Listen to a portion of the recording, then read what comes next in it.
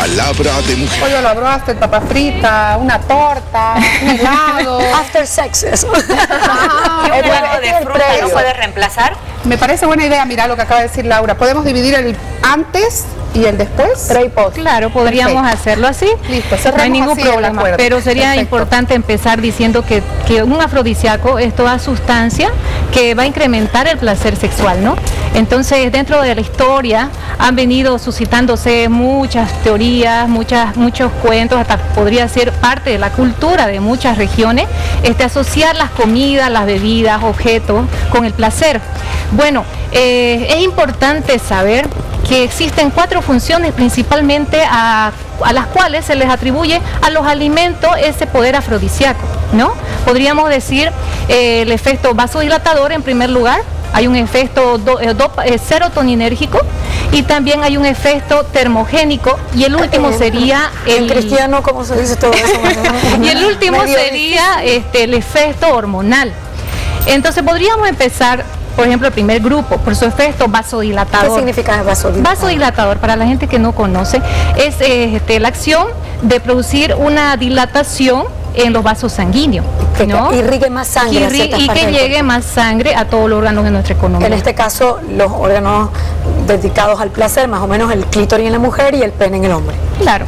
En este caso, si hablamos especialmente de alimentos que van a son afrodisíacos por esta función vasodilatadora, pues van a incrementar específicamente eh, la irrigación de esas áreas, ¿no? Entonces, eh, dentro de este grupo tenemos principalmente alimentos que sean ricos en beta-caroteno y flavonoides.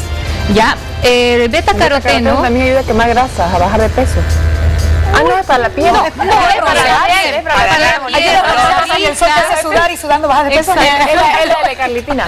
Sí, y aquí vemos alimentos especialmente eh, como el durazno, que es un alimento riquísimo en beta-caroteno, ¿ya?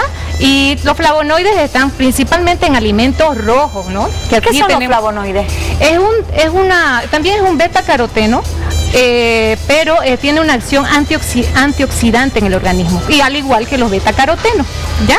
Entonces son sustancias antioxidantes que vienen de los alimentos y que son muy importantes, especialmente para la función vasodilatadora, estos alimentos, ricos en flavonoides y ricos en beta-caroteno. Quiero invitar a la gente que nos está siguiendo, no se olvide, tenemos habilitada ya nuestra línea telefónica para que usted se comunique con nosotros vía WhatsApp, haga sus preguntas y, y le cuestione a nuestra nutrióloga que le pone a la ensalada de fruta.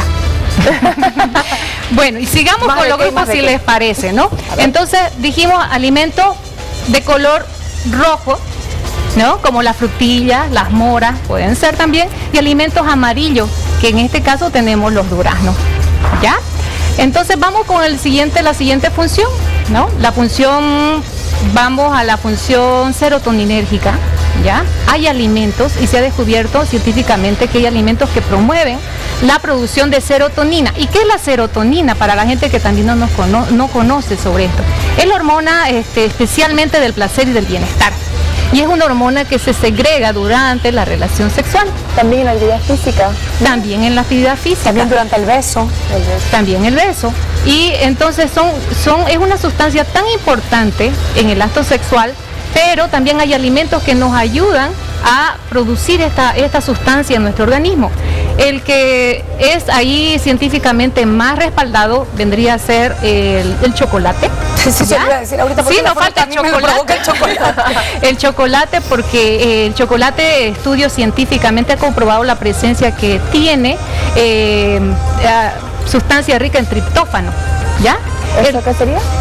el triptófano eh, vendría a ser un precursor, es decir, el que va a ayudar a formar la serotonina en nuestro organismo.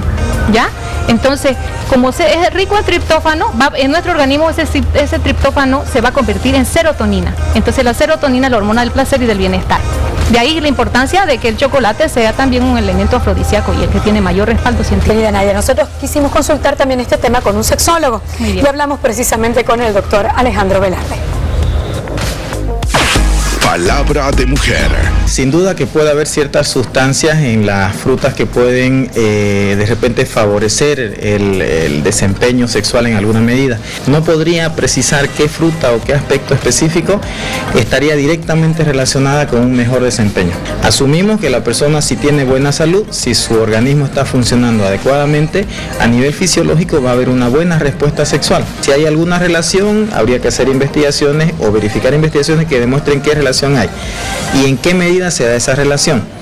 Luego el color en sí de la fruta simplemente pues tiene que ver más que todo con la expectativa igual que yo pueda tener o la preferencia que pueda tener. Pero reitero, no quiero decir tampoco de que no exista influencia de lo físico o fisiológico, por supuesto que sí, pero hay que investigar en qué medida se da esa influencia y así se dé, no quiere decir que ese es el único factor que me va a predisponer a mí para tener relaciones sexuales. O sea, me como una manzana roja y ya voy a estar listo para tener relaciones sexuales.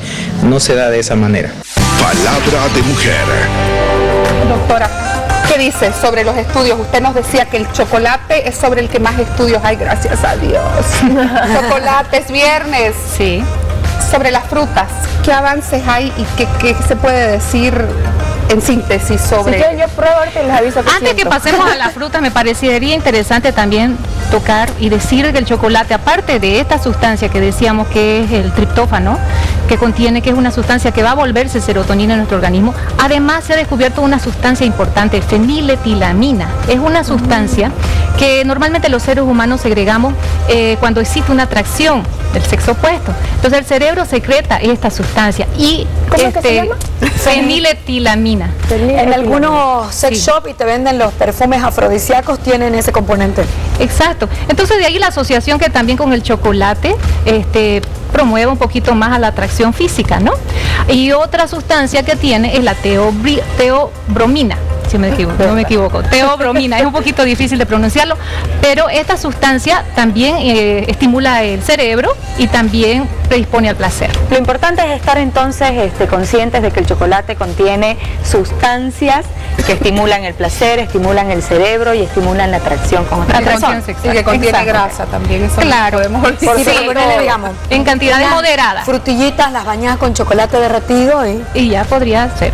Ahora, también importante decir que no el chocolate cualquiera, sino el chocolate negro, el chocolate amargo, es el que tiene mayores cualidades también antioxidantes. Entonces, es un alimento muy nutritivo y también la cocoa. El Sí, cacao. el cacao, El el cacao. puro. Por eso es importante ver eh, en todos los productos la composición. Sí, porque hay que muchos que tiene. ya son un Ajá. sintético, Y básicamente. Ese es nuestro chocolate veniano que tenemos tan rico que nos que, Como que- con el que el se raya. que se llama ajá, que se raya, ese es el bueno. Sí, pero también había que ver en su elaboración que no sean adicionados muchos productos, en este caso grasos, mantecas y todo eso, ¿no? porque es muy se- ajá, es importante que sea mayor la composición de cacao. Arriba de un 65% se, se aconseja. No Bien. estén tímidos en su casa, es Bueno. viernes, piensen, placer sexual, frutas. Nos quiere decir algo a través de nuestra línea de WhatsApp, por favor, hágalo. Sin timidez, ahí está. Dicen que el maní es un afrodisíaco poten- potente sexualmente. ¿Es cierto? En mi caso no es así, dice Juan. El maní en realidad no es un, un alimento afrodisíaco científicamente comprobado, pero sí tiene cualidades favorables que pueden desempeñar, digamos, en este caso, este, beneficios para el organismo en general, por el contenido de ácidos grasos saludables, ¿ya? Entonces, es tiene ácidos grasos saludables que en realidad también ayudan a mejorar nuestra circulación en general. Por ese punto sí podría ayudar, pero no se puede decir que es un afrodisíaco puro. Bueno, ya la gente está rompiendo la timidez y está empezando a escribirnos al WhatsApp con sus preguntas. Vamos a ver qué nos dicen. ¿Cómo debe ser la alimentación para permitir resistencia a un niño deportista de tenis? Gracias. No tiene mucho que ver con el tema, pero podemos responderle a la mamá. Sí, nos está hablando de mejorar la resistencia física, ¿no? Entonces, Tiene algo que ver con el tema. los alimentos, los alimentos en este caso energéticos. Si bien podemos también tener una asociación en el sentido de que también las relaciones sexuales es una actividad es sexual, una actividad como cual- física como cualquiera. Pero en este punto vamos a responder a la televidente que nos dice, ¿qué puede hacer? Bueno, su hijo debería este, consumir alimentos energéticos. ¿Cuáles son este grupo de alimentos? Principalmente todos los que nos van a aportar carbohidratos, en primera instancia carbohidratos, y se aconseja que sean carbohidratos complejos, porque estos son los que tienen mayor cantidad de nutrientes. Y luego eh, vendrían a ser las proteínas, porque las proteínas le van a dar el soporte para que eh, su organismo no pierda eh, proteínas de su masa muscular y a la vez también cre- incre- increcente, incremente la masa muscular. Entonces son los carbohidratos y las proteínas principalmente los nutrientes que no deben faltar en su dieta. Complejos, por ejemplo, la avena, la quinoa, ¿no? Eh, Muy bien, sí. Eh, la avena otro- es un carbohidrato complejo. Exactamente, la quinoa, también, que tiene además mucha proteína. Mucha proteína. O sea que juega para los dos lados, más o Excelente, menos. sí, exacto. Son algunos de los carbohidratos Sabe recomendados. chica, ¿no? ¿no, Muy bien, doctora? sí. ¿Y qué, qué más podemos decir de estas frutas que tenemos acá? Estas Por ejemplo, hablemos Sí. de la sandía, porque tenemos Hablemos de la para- sandía, para ¿sí? mostrar. Me parece muy interesante. Vamos a nuestro cuadro de la sandía, a ver qué nos dice. La sandía tiene un compuesto llamado citrulina, el cual tiene la propiedad de ayudar a que la erección sea más poderosa, señalan estudios de la Texas A&M University. Eso es cierto, ¿sí? Contiene ese ¿Qué es la compuesto. citrulina? Tendría que ser como una hormona, eh, tiene un efecto más hormonal en nuestro organismo, porque es muy semejante a la, eh, tiene un efecto a la pastillita azul que todo el mundo conoce. Entonces, en muchos cuadros, incluso la gente puede ver eh, sandía versus la pastillita azul, ¿no? serio? Por ¿En ese efecto. Entonces, ese efecto de potenciar la erección, sí, se ha descubierto que sí tiene ese compuesto esas cualidades, pero también se, este, es interesante tocar el punto de que ese, ese compuesto, esa sustancia, se encuentra en la parte blanca, si podemos ver la parte blanca de la sandía. Exacto, y, y es La donde no generalmente que nadie consume. Entonces yo ¿Cuánto creo que- que de aquí en la- ¿Y adelante... qué, y qué cantidad debería comer además para equiparar, digamos, con la pastillita azul? Ahí está el punto, y que todavía no hay estudios científicos que respalden qué cantidad sería la necesaria, pero sí son cantidades muy bajas, entonces es muy, muy exagerado decir que tenga el mismo efecto que estas pastillitas azules. Tiene eh, el efecto, pero muy baja cantidad. Hay que incorporarla entonces a la, a la alimentación de manera permanente. Sí, es, es muy importante para las personas que llegan a tener, tener disfunción, disfunción eréctil. Entonces es un alimento que sí debería ser considerado, pero el consumo de la parte blanca, porque es la parte que tiene mayor contenido de citrulina. Vale la pena anotar este datito porque estamos en temporada de sandías. Exacto. Y las sandías están baratísimas en todos los mercados en este momento y hay abundancia de sandías en esta Exacto, temporada. aprovechar en esta temporada Antes que y que no falten. Tenemos otro cuadrito, nuestras frutillas o fresas. El rojo es sexy. E investigadores de la University of Rochester afirman que sí existe una conexión real entre dicho color y el sexo. Frutillas con chocolate. Sí, Más de la fresa. sí, exactamente. Además de ello, perdón, Sí, las fresas contienen vitaminas B, folato y vitamina C en grandes cantidades, lo cual es un potenciador de la libido. Eso es correcto, totalmente correcto. Entonces, por un punto, las frutillas vienen por muchos tiempos atrás a asociarlo con el placer, pero sobre todo por la forma que tiene. Hay varias este, teorías también que las asumen dentro del grupo de los alimentos, es que tienen forma sugerente, ¿no? Entonces, al incluir también las bananas, la, la frutilla, los higos, todas esas frutas La papaya. Ajá, las papayas. Entonces hay muchas personas y muchos grupos de personas que creen que tienen el, este, acción afrodisíaca, pero en realidad no es. No, no tiene una acción real, pero sí se le ha otorgado por la forma, ¿no? Sugerente. ¿Ya? Entonces la frutilla sí, de, de- aparte de eso, por la forma, el color, que sí es respaldado que el color rojo es el color rojo de la pasión, entonces también contiene las vitaminas que son necesarias para una función sexual eh, satisfactoria, como dijimos. un fetiche. ¿no? Entonces eso- tiene todos los nutrientes necesarios. Asociado a este tema de, de- de rojo, de pasión, de, de lo que Laura De la decía, forma. frutilla, chocolate, es como no hay estudios sobre la relación del alimento y la importancia que tiene dentro de la cena romántica, dentro de, de algo que no guarda una relación, sí guarda una relación directa o no guarda una relación Guarda, directa. para mí guarda. Sí, guarda. Eh, eh, todo debe ser enmarcado la dentro de... propiedad nutricional, Exacto. el aspecto visual y el, el entorno que puede dar. Es un buen punto que toca, es cierto, no por el alimento en sí, sino todo el contexto que lo Exacto. acompaña, el cómo lo sirve, el cómo lo presenta, eh, la situación en particular, cómo se, se, se, se Tenemos un. WhatsApp para leer Exacto. junto con Nadia aquí. Dice, buenas tardes, hermosas todas. ¿El maracuyá es un afrodisíaco? No, el maracuyá no está catalogado ni siquiera en Y los estudios gringos le dicen passion fruit. ¿no? Sí, no, no está catalogado en- como un alimento afrodisíaco. Más bien se le otorgan efectos sedantes. Es relajante, Es ¿no? relajante. Entonces todo lo contrario. Eh, por eso decía también. No, maracuyá, es impor- entonces. es- no. Perfecto. Es importante tocar también que hay alimentos, en este caso termogénicos. Sería todo lo contrario que el maracuyá. Estos alimentos termogénicos, eh, que también Nos son aceleran. alimentos afrodisíacos, están dentro de este grupo, este, van a acelerar nuestra termogénesis, nuestro metabolismo, nuestra temperatura corporal. Dentro de este grupo está principalmente el café, ¿ya? El guaraná. Está ajá, el polvo El de guaraná, está el té, porque tiene, contiene teína, y bueno, eso principalmente, Azaí. ¿no? El azaí también porque contiene grandes cantidades de cafeína. Entonces son alimentos que sí pueden favore- fa- favorecer por su acción, en este caso afrodisíaca, pero termogénica. Tenemos más cuadros para Tenemos revisar cuadros. con usted. La manzana. Las mujeres que consumen una manzana al día presentan un mejor índice de función sexual porque tener mejor lubricación y su placer mejora. Desde el colegio te enseñan a comer una manzana al día. Pero nunca me dijeron que era para esto. Te llevamos a la profesora, y la profesora feliz te ponemos una nota. Y yo tengo una amiga que dice que cuando está a dieta y se come una manzana tiene más hambre después de que se come una manzana, que es lo mismo. que- pero asociado a Bueno. este tema sexual no lo había escuchado nunca. La verdad que, que sí, e- esos estudios son recientes y son aleatorios, aleatorios todavía, no son científicamente comprobados.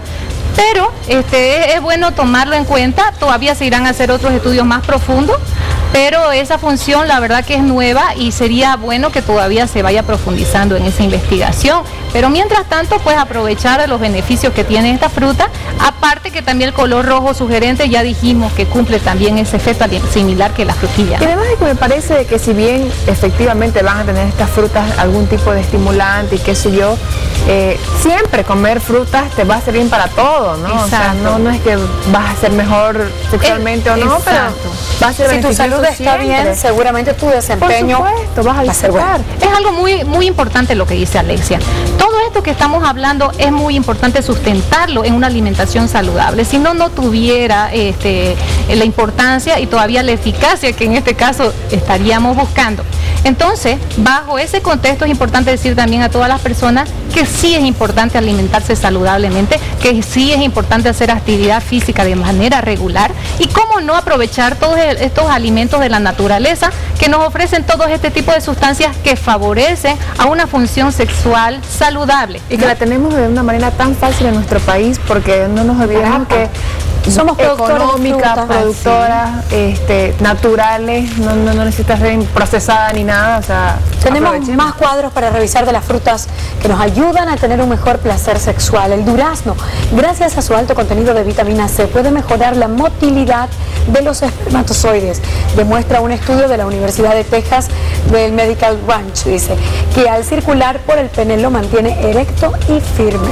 A comer durazno, señores. Es cierto, el durazno es un alimento riquísimo, aparte en vitamina C, en folatos y complejo B.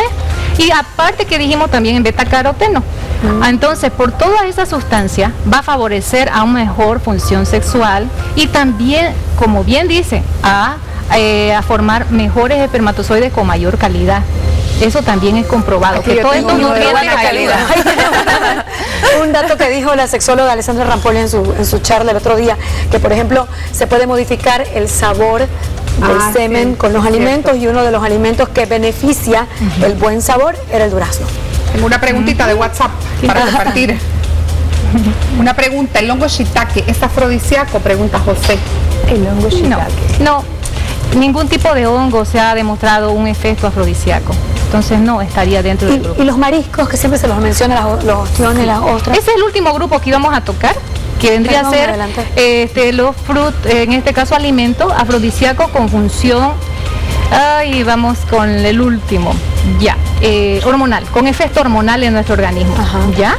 Entonces, este grupo de alimentos que hacen, ayudan a formar hormonas, tanto masculinas en el hombre la testosterona y hormonas femeninas los estrógenos en las mujeres.